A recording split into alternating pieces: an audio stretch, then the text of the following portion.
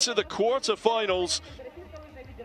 Disappointment there for Jakara Anthony. Next up, Hannah Soar from the USA against Makayla Gerken Schofield from Great Britain. Gerken Schofield, 21 years old. She likes the dual format. Disappointed to see her sister not able to compete. Leonie, unfortunately, broke her collarbone.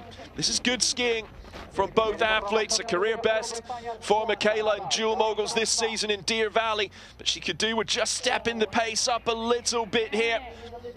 Good clean bottom jumps from both skiers and 0.36 in it. Well, it's going to be another close one here. Hannah Soar skiing very, very well. We'll look again at the top jump. Very similar backflips on the top jump. No real mistakes that I could see from Hannah Soar. Superb skiing from both athletes there. It's the way it goes with the draw sometimes, and I think it's going to be Hannah Soar here. So the score coming in now. Hannah Soar 84.84 to 76.56. She progresses, but a solid top 16 performance from Makayla Gerken